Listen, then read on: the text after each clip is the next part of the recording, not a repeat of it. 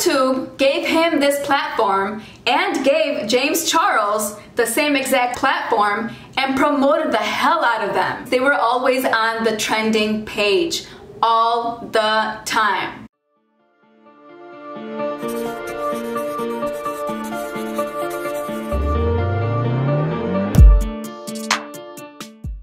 This video that I'm gonna watch is a channel that I have never seen in my life. I have never seen a video by David Dobrik. Is that how you pronounce his last name? I know he's very popular. He has 14 million subscribers, but I have never seen a single video. No. a lot of you guys have been asking for more porn stars in the vlog. so today we're going to visit a porn star, Emily Willis. Anyone's been actually asking that. So there's a good chance that not too many people have been asking. Okay, so what I noticed so far in this video is that a lot of this is fake for the camera. One person tells a joke that's funny and everyone laughs hysterically. No. a lot of you guys have. Now let's go back again and see another one. Okay, what is he? A cereal spoon? Oh, big spoon. Who's your celebrity crush? Like who made? It's like it's it's so phony. Well, what is funny? What is funny? The YouTubers that I follow bring up his name. He's like well respected in the community. So I thought I was gonna be entertained.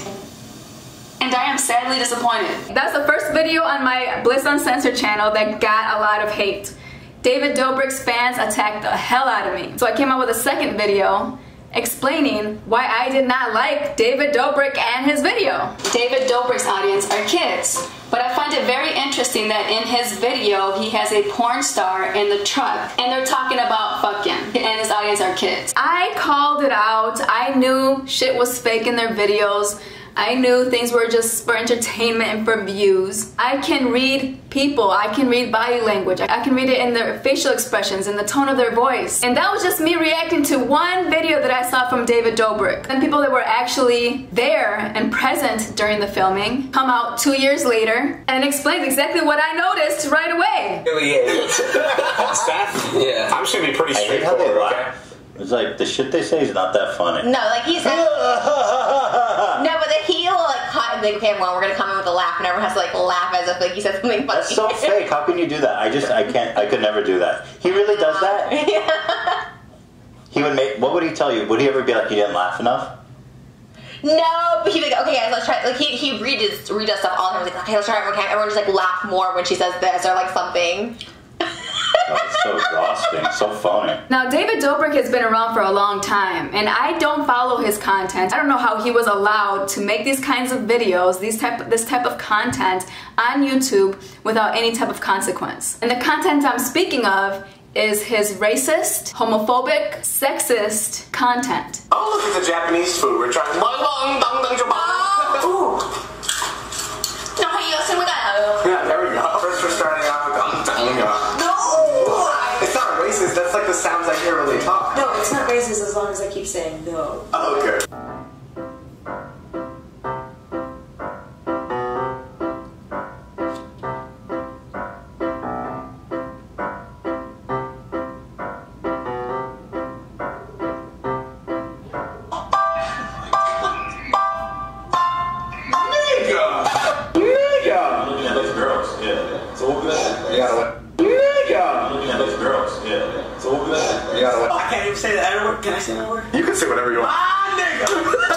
Like it was just some racial skit. Like he would open the fridge and watermelon would fall out, or Alex and I think Zane were doing blackface. They were doing blackface with like Nutella, and Seth was there to like make light of it. And that's just a few clips. There's a lot more. You can't hide from your past. You have to face it. Acknowledge it. Take responsibility. Take accountability. And this is when he tried to apologize. Hey, what's up, guys? A lot of you guys are wondering why I had to delete my last vlog, and that's because I made an offensive joke that at the time I didn't think was too offensive. But after reading some comments, I realized that a lot of you guys didn't like it as much as I thought you were going to. For those of you guys who found the vlog to be offensive, I'm sorry you did. For those of you who didn't find it to be offensive, I'm sorry they did. So instead of completely deleting this Let's rewind that again. Listen to what he says.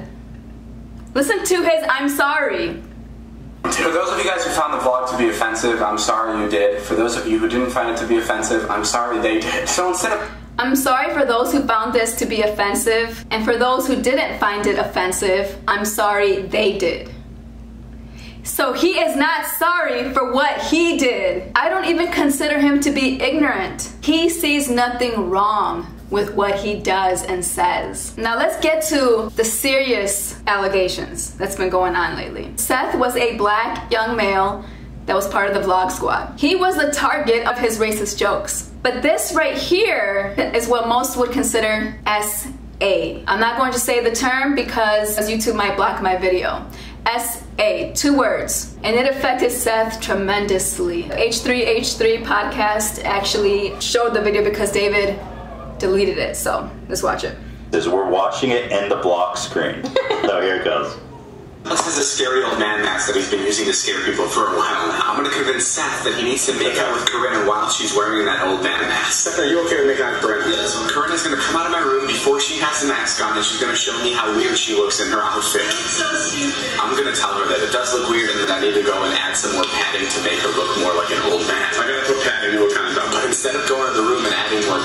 more padding, is gonna hop out of the outfit and have Jason put it on instead. Corinna's thinking to myself now, especially with Jason, this is like a porn.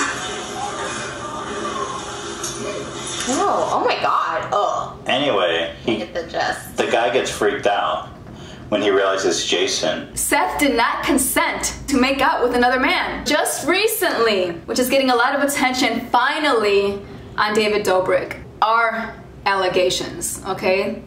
The word is a four letter word. You guys know what that means, starts with an R. Now, Insider made an article doing their research, hiring their lawyers to get the correct information to report on facts. David Dobrik and his vlog squad invited a group of girls to come have sex with one of his members.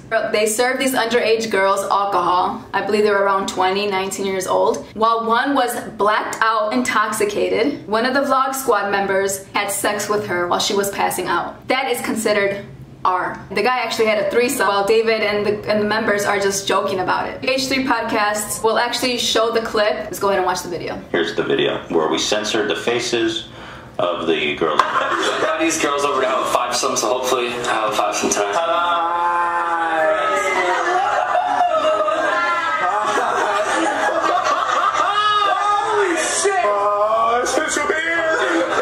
The girls walked in and they were like, "Is this the guy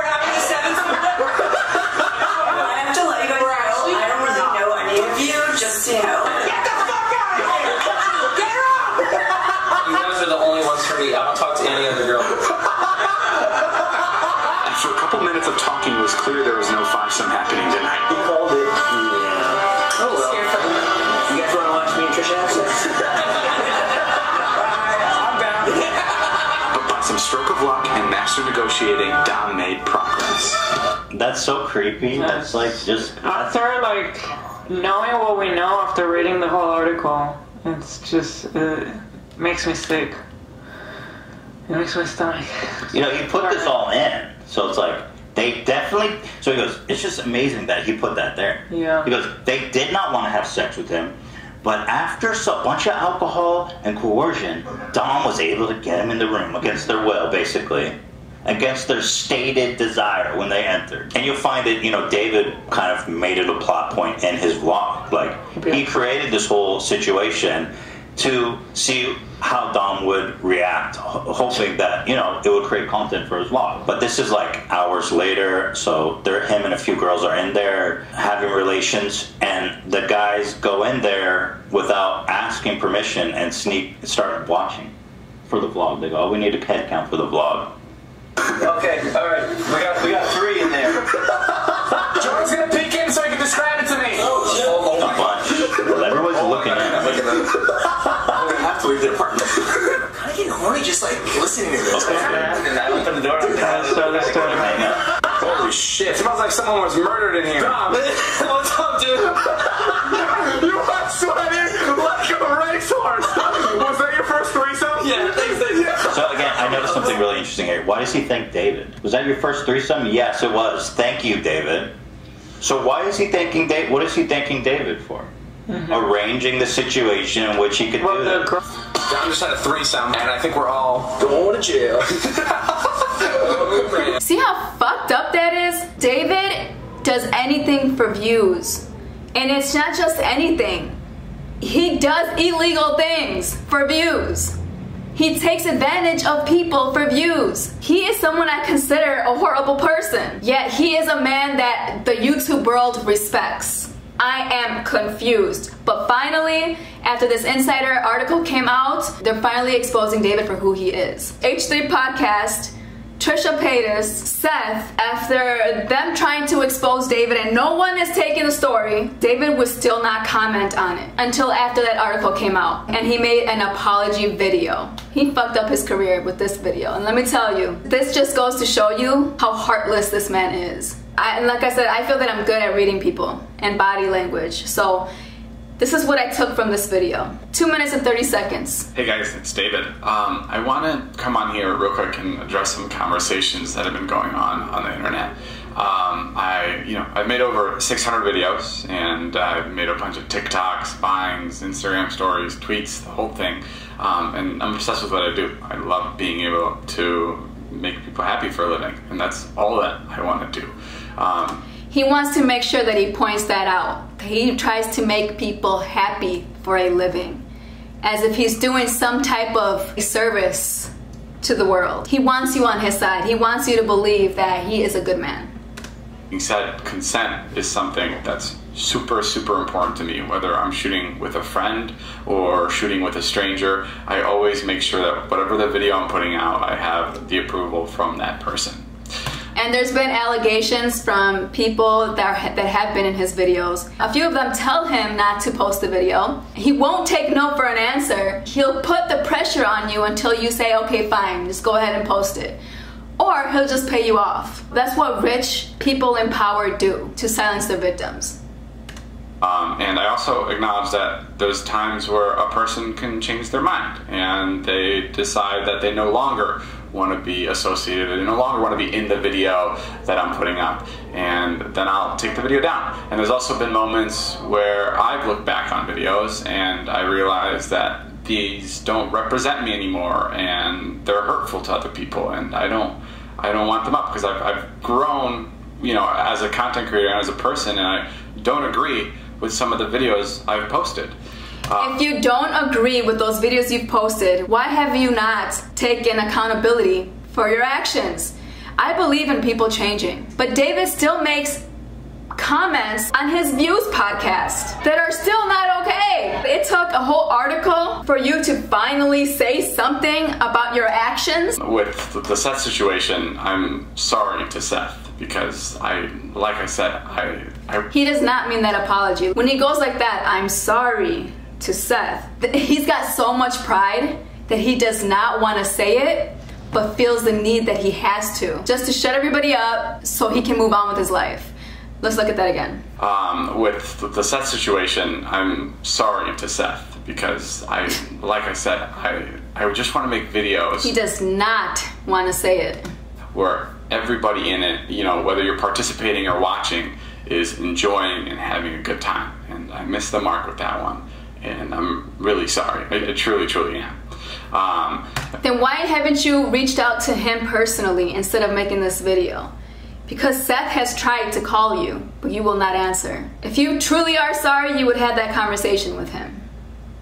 With people in my life that I don't film with anymore, um, like Dom and you know the other people that I no longer film with, I, I chose to distance myself because I don't align with some of the actions and I don't I don't stand for any kind of misconduct and I I'm I was just I've been really disappointed by some of my friends and for that reason I've set playing victim.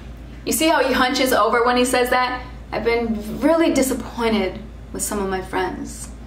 He's playing victim. Let's watch that again. I've been really disappointed by some of my friends and for that reason I've separated from a lot of them. Um, you do realize that you are the main person that has done horrible things to people.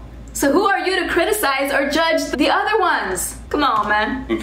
With any video I make, my main purpose is to make people happy and, and inspire people, and I just I never want anything to get in the way of that. And I'm sorry if I've let you down. And things like that won't happen again. And I learned from my mistakes.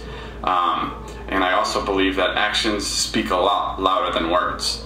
And, you know, you can take my word for it that I'm going to change, but I'll also show you and I'll prove to you that, you know, the mistakes I made before won't be happening again. Um, but yeah, that's it. All right. I love you guys.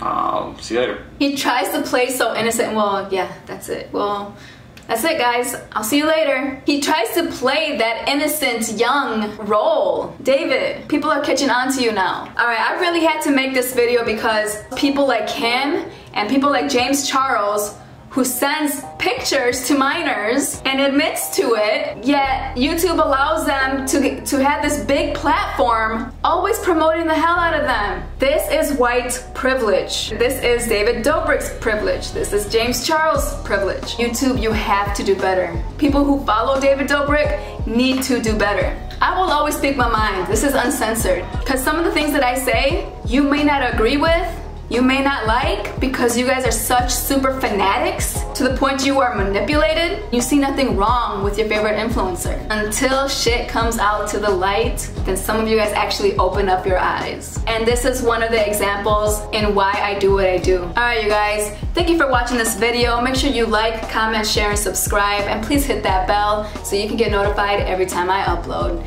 See you in the next video. Peace.